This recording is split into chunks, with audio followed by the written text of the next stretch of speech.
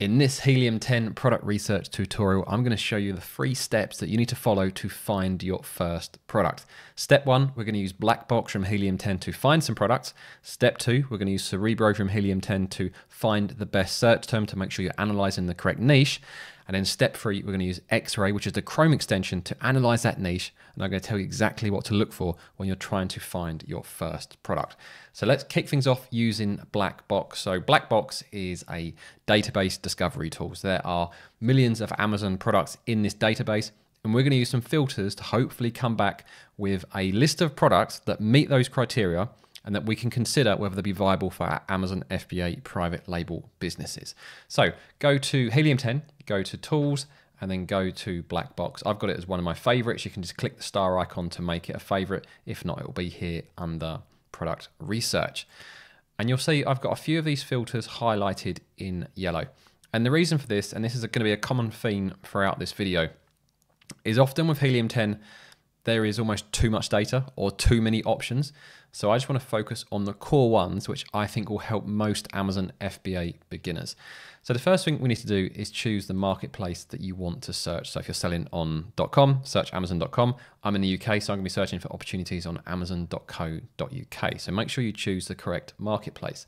The next thing you need to do is to select a category or subcategory or multiple categories. So if we click this arrow here, you'll see all of the choices. And if you click the little arrow there, it will show you all of the subcategories as well. So if you have a particular interest or hobby or something that you want to look into, you can filter down using those. Now for the purposes of this video, I'm gonna choose home and kitchen as this is quite a broad catch-all category and hopefully it will return some interesting products for us to look at.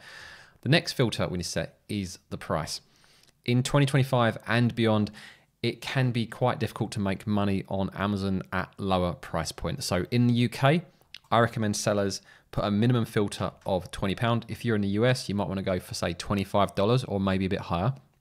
So I'm going with £20 for this video and a max, I'm going to put £40 in just to exclude any super expensive products. And you'll see there's lots of other filters here that I completely ignore.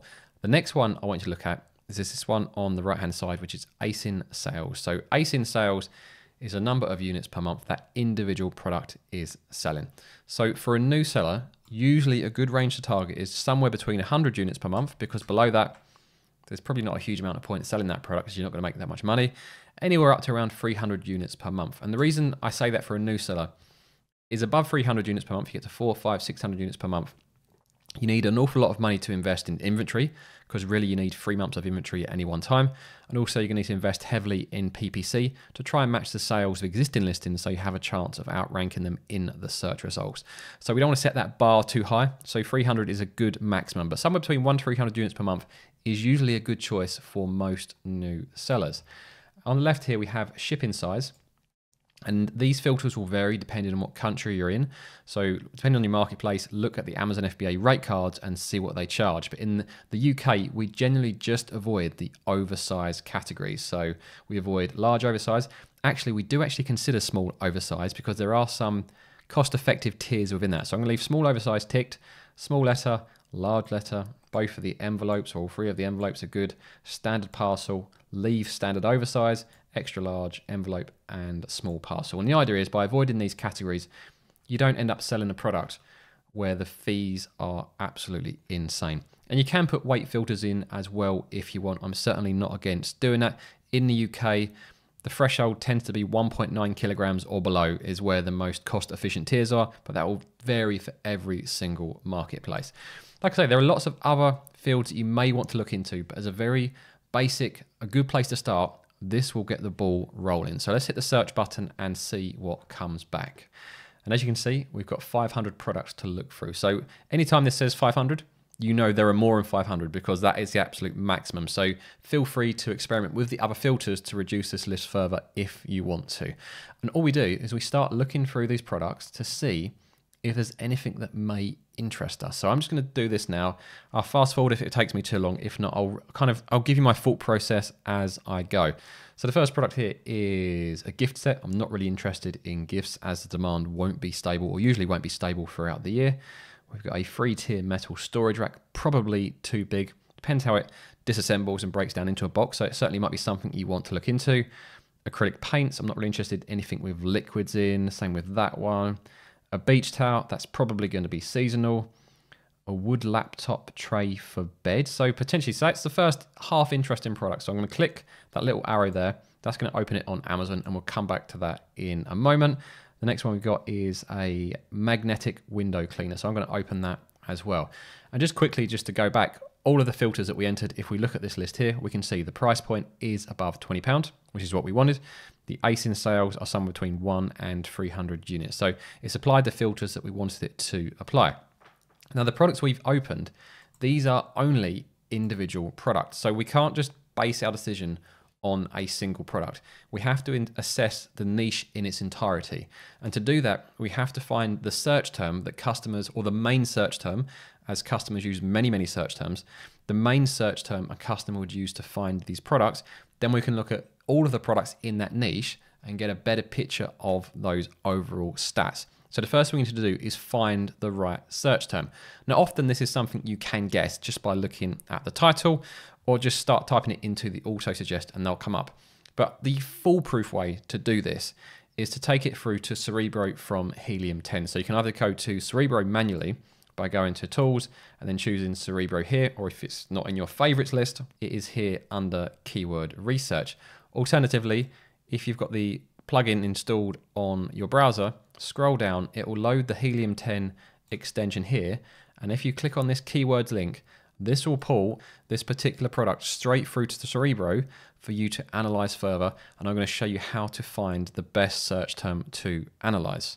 And you can see, as with Blackbox, we have lots of different filters, but I only want you to look at one, and this is the search volume. And if we put in a minimum search volume of a thousand, that should get rid of all of the noise. And what this is going to do, this is going to look up this product and look at all of the keywords that it's ranked for. And we should be able to tell by looking at the positions of these keywords in the search results whether that keyword is relevant and if it is, whether it has a high enough search volume to be the main search term that we want to analyze. So let's click search and see what results come back. So the results are in, if we scroll down, if we look at the organic rank column. By the way, if you're loading Cerebro for the first time, you've probably got lots of different columns. So just click on the customize button and you can deselect lots of them. So I just look at search volume, sponsored ranks, as that tells me if they're currently paying to advertise for that search term, and then organic rank here.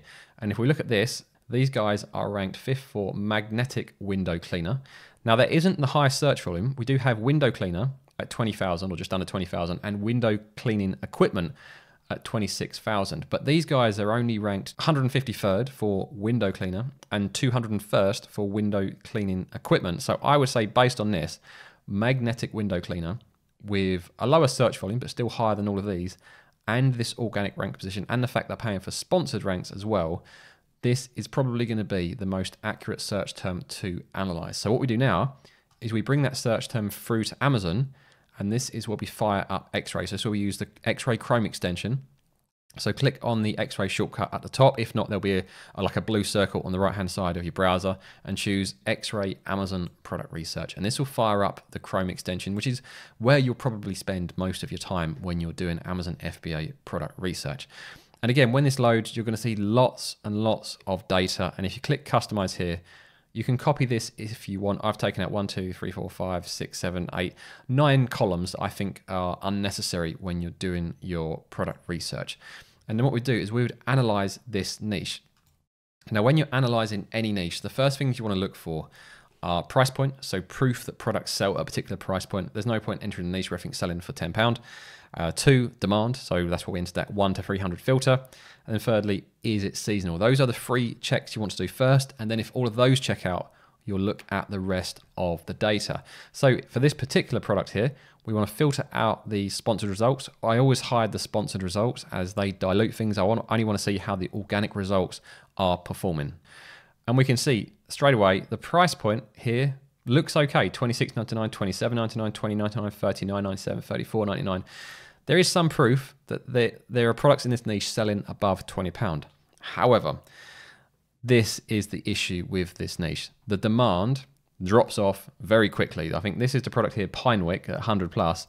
There's a few other products selling, and then the rest of these say NA. And if they say NA, that usually means they're below 50 sales per month, as this is Amazon's own data. So straight away, I will just cross this product off as the demand does not run deep enough. You do not want your success on Amazon to depend on landing in these top five positions. You want to see demand running nice and deep, maybe down to the top 15 or so positions. So I'm going to close this one off, and we do have one other product left, don't we? So we tried the we tried the magnetic window cleaner. Nice product, but poor demand. And then we also had this wood laptop tray, lap desk, desk for laptop. So this one's a lot harder to know, like just guessing what the search term will be. So let's again take this through to Cerebro. We scroll down to the Helium 10 section here, click on keywords. This will pull you through to Cerebro. And then we put in that minimum search volume. And the reason we put in the minimum search volume filter is about that. This will return, well, let me just show you quickly. This is returning hundreds of different keywords, many with super low search volumes. So these certainly aren't the search terms you want to be analyzing. So if we put the minimum search volume as a thousand again, and then scroll back down, we can see these guys are ranked 24th for laptop tray, and that's at 3,500 volume. We've got laptop table at, the 53rd at 4,000. Um, and then we start to get quite high up in the ranks. So I'm going to go with, we do have laptop stand here at nearly 60,000 and sometimes not all products will rank for the best search terms. So if you're not certain, you can look at that niche separately and see if the products are comparable. So it might just be that these guys aren't very good at ranking and laptop stand is actually super relevant. But I don't think it is from what this is saying. Laptop tray is very different to a stand. So I'm going to go with this one here. They're ranked 24th and this is the highest search volume and I feel most relevant to the listing as well. We've got bed table for laptop. These are a bit on the low side. So let's go laptop tray. And then we're going to analyze this in X-ray. And if you're not sure whether you are using the correct search term from a relevancy perspective, just look at the other products in the search results. Are they comparable to the product you're going to be analyzing? If they're not, you're probably using the wrong search term. So let's fire up X-ray and hopefully there'll be a bit more, more demand in this niche. So do the three treks that we talked about. Price point 19.99, 22, 99, 29, 20 pound, 33 not. So we have good evidence. We have good evidence. I like to talk about what I call a landing zone when I'm looking at Amazon, and that is at least five other sellers hitting the price point or above that I'm aiming for, and also the demand levels that I'm looking at as well. So the price point, that is good.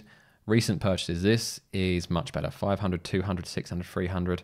So this, you've got plenty of demand at 100 plus, two or three at 300 plus and 200 plus. So this would be a good niche to target, say 150 to 300 units per month, I think would be a reasonable target if I was entering this niche. So it's tick the first two, and the final check was seasonality. So we put that over the one year view. There is a pickup in Christmas, which at Christmas, which is absolutely fine. I do not mind seeing a Q4 peak as long as demand is fairly stable the rest of the year. And at the moment, we're probably at the lowest point of the year and demand is still good. So as long as you know when the seasonality is, you can plan stock around that. So that is absolutely fine to have a Q4 peak.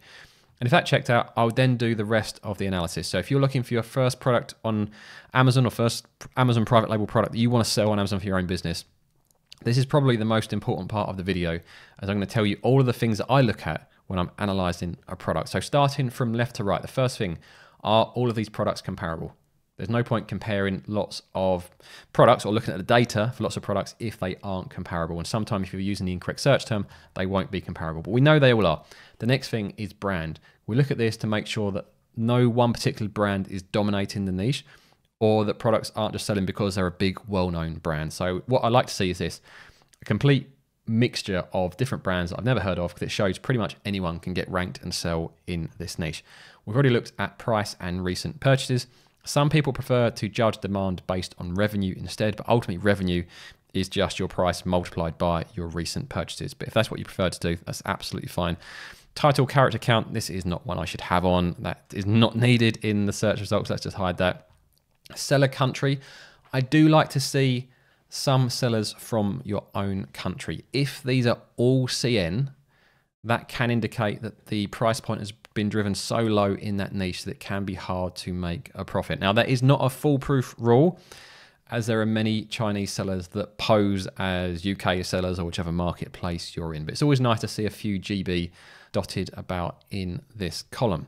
Your fee, so this is your fulfillment fee plus your referral fee. I want this to be at a maximum around about 30% of your selling price here. So if you're selling at 19.99, this is a fraction on the high side, 22.99. It's not too bad. Now remember, if you're a new seller in the UK, you will be paying 20% VAT on top of these fees. So include that in your overall profit calculations. Now let's scroll over to the right hand side a bit more. We've got the ratings, so the actual number of ratings here or reviews. Ratings and reviews, the only difference is a rating is anyone can leave a star rating. Some people also leave text with it and then it's called a review. So what I like to do is avoid niches where everyone's got five star ratings because it's very, very difficult to maintain five stars. And if you want five visual stars to appear on the listing, you need to be at 4.8 or above. So I have no concerns here that anyone is going to dominate these sales purely because they got five stars because everyone is averaging 4.8 or sorry, below 4.8. So they're getting four and a half stars. Now the actual number of reviews, this is something to consider. However, what I like to see is just proof that sellers without crazy numbers, i.e., four figures and above, can get ranked and can make sales. And actually, this first seller here with only 48 reviews says to me it's possible for a new entry in this niche to get ranked and to make sales. If I saw every single listing was like this at two or 3,000 reviews, I would be more wary. But the most important question you need to ask yourself is how similar is your product to the other products in the niche? If it's identical, reviews and price point matter a lot, lot more. But if you've taken a product, you've made it better, you've given it additional functions and features that are going to benefit the customer, and it has a visual selling point to draw the eye, the review count is less important as people are going to judge your product on those factors and not just the number of reviews. We've got the size tier here, which basically backs up what we're seeing in the fees column, and we've already filtered out all of the ones that we don't want, the big oversized products. Fulfillment, the, there are two things to keep an eye out for.